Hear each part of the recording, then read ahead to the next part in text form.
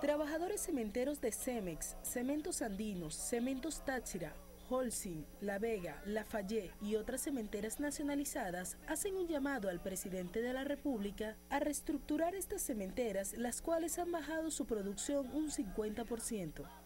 Al presidente de la República que tome en cuenta muy en serio la problemática que se está suscitando en la, en la empresa, en la industria cementera como tal. Estamos viendo que la decadencia, la desidia, la, mala reinversión del, no a, la inversión dentro de la industria cementera no es preocupante para nosotros porque era una empresa que en el espacio y en el tiempo se, mantuvo, se mantenía, nómina, transporte, mantenimiento de la empresa, se invertían capitales fuera del país. Hoy por hoy, en dos años que, de que llegó esta Junta de Transición a la, administración de la industria cementera, vemos el decaimiento y vamos en, en, de, que vamos directamente, por decirlo así, creo que vamos a la quiebra, porque es la realidad. Entonces estamos haciendo el llamado que aquí nosotros no venimos a hablar de lo socioeconómico, de, lo, de, lo, de la problemática de las convenciones colectivas, sino lo de lo estructural.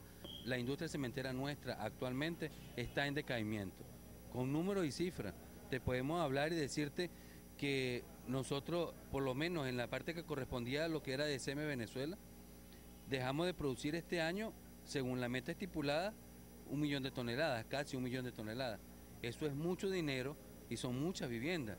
Son aproximadamente 400 mil viviendas que se pudieran haber hecho.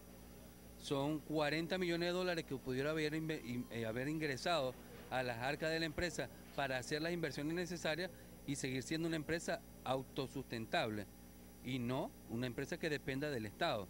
No queremos ser una carga para el Estado, nosotros tenemos capacidad de producción.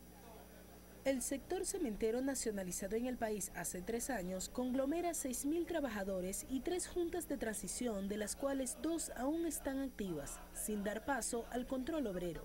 Nosotros los trabajadores somos, en realidad, si sabemos el estado en que estaba la empresa y en el estado que nos encontramos hoy.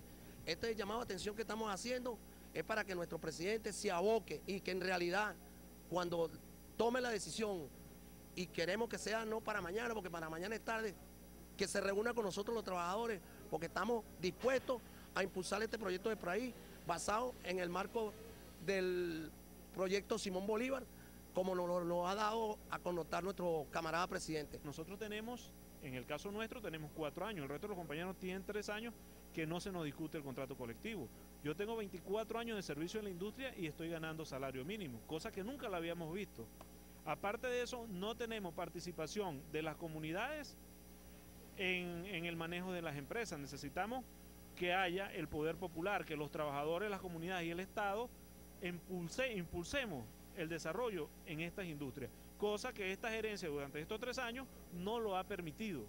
Y aparte de que no lo ha permitido, lo que sí ha permitido es que los niveles de producción se nos vengan al piso y que no tengamos hoy día cómo sustentar la demanda interna de cemento que tenemos en el país. No es una realidad que les quedó, pero inmensamente grande, la cementera a, esta gente de la Junta de Transición. Así como mi comandante le dijo a Costa Carle, te quedó grande Carabobo. Yo se lo digo a, a mi comandante aquí, a esta gente de la transición les quedó grande la cementera. Queremos que se vayan. Control obrero.